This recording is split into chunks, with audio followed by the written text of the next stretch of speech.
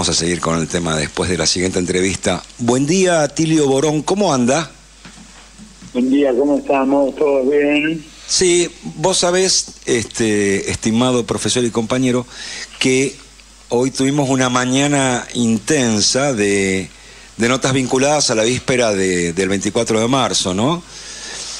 Eh, estuvimos hablando con Iván Aguilera, que es una, persona trans que, sufrió persecución en su momento. Tuvimos una charla espectacular con el gobernador de Tierra del Fuego.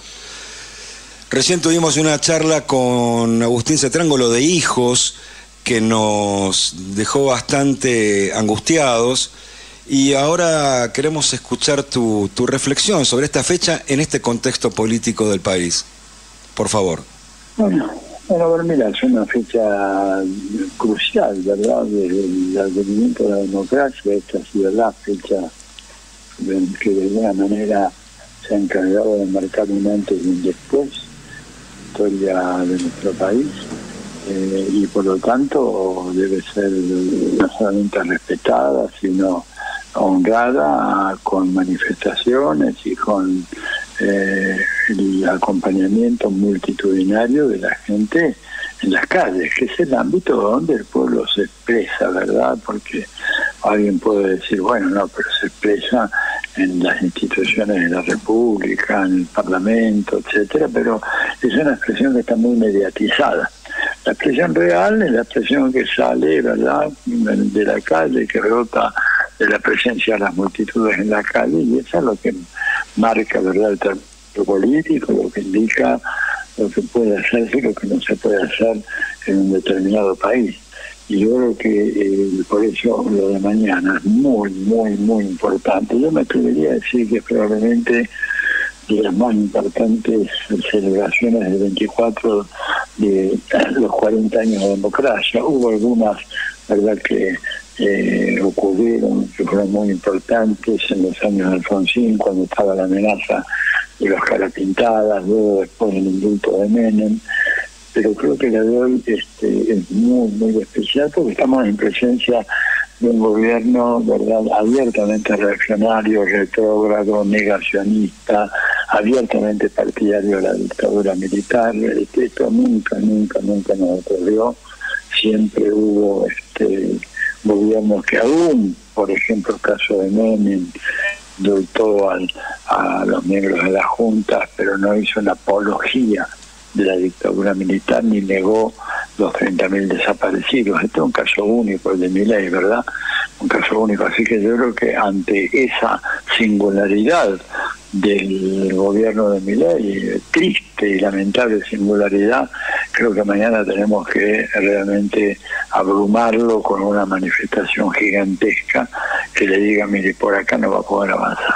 Ni se le ocurre avanzar por acá porque las consecuencias pueden ser eh, desastrosas para su gobierno, que ya viene, por supuesto, muy golpeado. ¿no? Así que es todo lo que yo veo como mm, escenario para, para mañana. Atilio, en el, en el marco de lo que decís que está perfecto para nosotros, ¿por qué crees que hace tanta fuerza este gobierno por reponer el vector militar en la vida política del país. Hablo del ministro de Defensa, la ministra de Seguridad, la vicepresidenta y el propio presidente. Vos que sos un estudioso de la historia nuestra como pocos. ¿Por qué crees que pasa esto? Mira, yo creo que tiene que ver con eh, esta idea de bueno dar una vuelta de página a lo que fue la historia democrática de la Argentina, acabar con memoria, verdad y justicia, acabar con los juicios, eh, institucionalizar el negacionismo. Aquí no ha habido genocidio, aquí no ha habido desaparición forzada de personas. Es decir, es una cosa tremenda, ¿verdad? Que se da en un contexto muy favorable, ¿verdad? Porque no olvidemos que eh, ley no es producto de un golpe militar. ley fue electo por casi el 56% de la población argentina, en gran parte manipulada, ¿verdad?, este, por los grandes medios de comunicación de masas que han jugado un papel nefasto, como siempre en nuestra historia, no son medios, y yo me refiero fundamentalmente a los medios hegemónicos, Clarín y Nación, que estuvieron preparando permanentemente el caldo de cultivo para este estallido de irracionalidad brutal que, se expresa en, esa, en la votación por este personaje mamarrachesco que tenemos hoy, este troglodita, como yo lo llamo, no sé si vieron la nota que salió en página en la edición digital, ¿no? Que se llama troglocracia, porque creo que ha mm. instituido el gobierno de tipos que, no, no, no es mi invento, ¿no? Montesquieu hace más de dos, dos siglos eh, habló sobre el tema de los trogloditas y bueno, etcétera, y a mí me parece que esto es una actualización de aquello y en ese sentido hay una tentativa de eh, reincorporar los militares como protagonistas fundamentales de la vida política.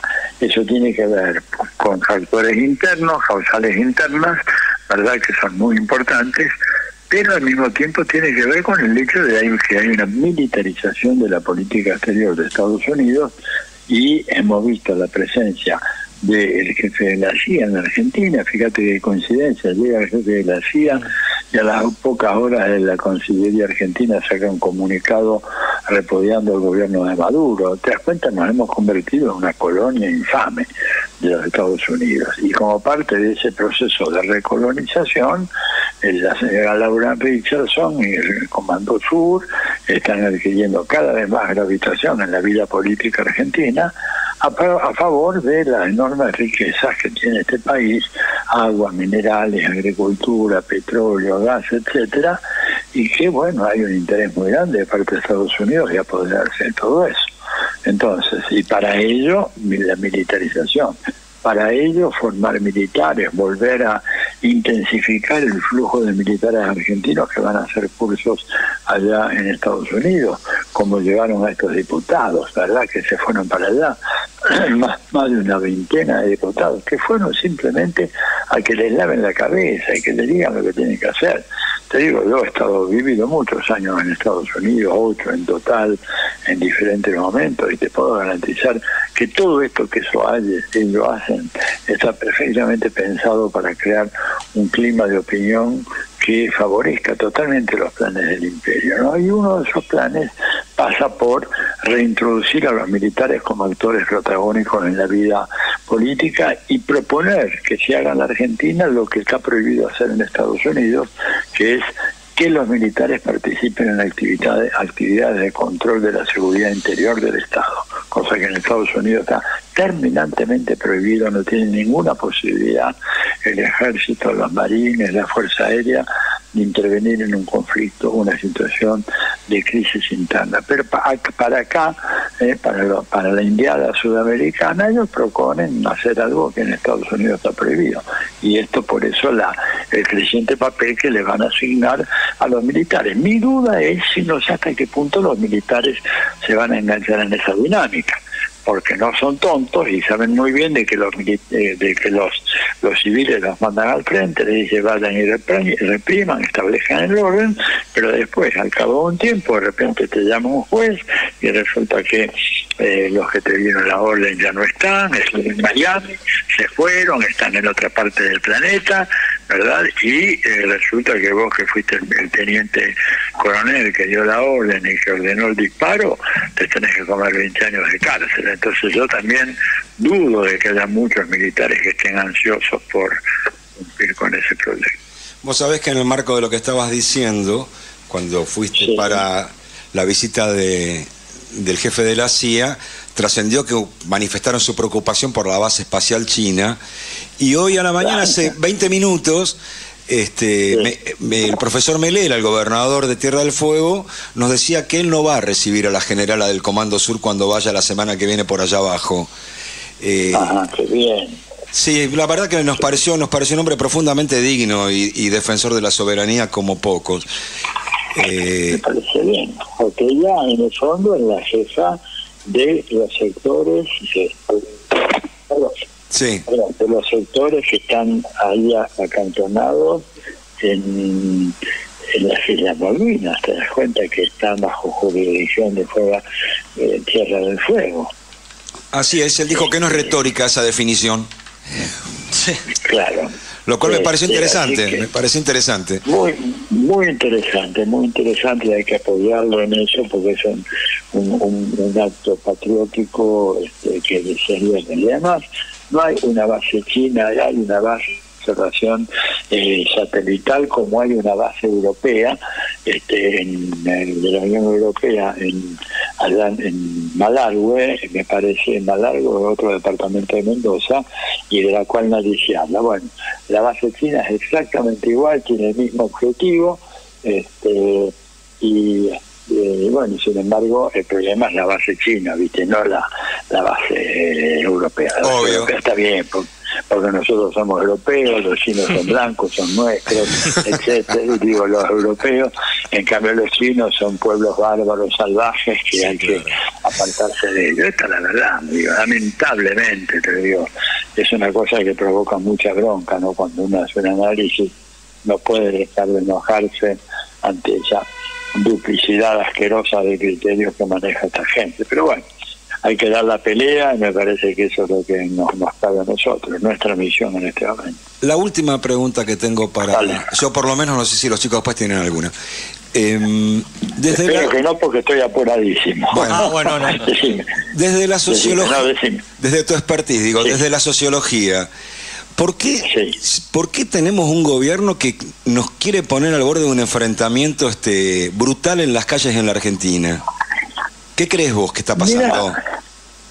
yo creo que es un gobierno que eh, viene a, culminar tentativas, una serie de tentativas que se vinieron haciendo en la Argentina este, y que tuvieron éxitos parciales a lo largo de los últimos 50 años. Así es lo que esta gente quiere hacer no es algo enteramente novedoso, es algo que se intentó, que lo intentó la Junta Militar y que no pudo avanzar mucho, lo intentó el menemismo y avanzó bastante, lo intentó de la Rúa, perdón, Macri y avanzó otro poquito más, pero la tarea está todavía pendiente y tienen que hacer algo mucho más fondo, mucho más radical y eso más de fondo, mucho más radical, es lo que este tipo piensa que puede hacer ahora, no solamente él, sino los grupos que la apañan a él, porque hay que entender de que este, es tan solo el personaje oportuno que apareció en un momento en donde era necesario tener a alguien que representara sus intereses, esos valores, etcétera.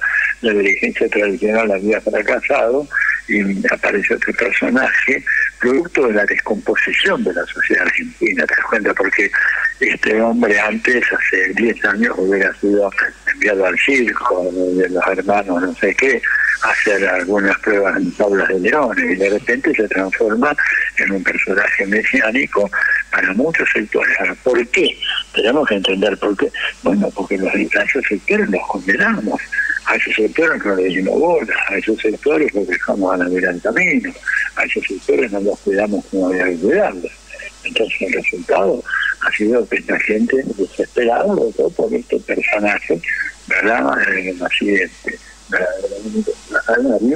que finalmente se convirtió en la Argentina, nada más que eso. Entonces yo creo que lo que hay que hacer es reconstruir el tejido social argentino, cosa que no se va a hacer con las políticas de, de mi ley, este, y bueno, y nosotros ofrecer una alternativa real, creíble, efectiva, cosa que tampoco hemos hecho. Entonces, bueno, esta es la, la razón por la cual tenemos tantas tantas dificultades, pero yo espero que las podamos ir manejando en el curso de los próximos años, confío en eso, porque si no, el destino nuestro va a ser muy triste. Gracias, Atilio, por tu tiempo y por tus reflexiones. Un abrazo grande. De nada, otro para ustedes. Gracias.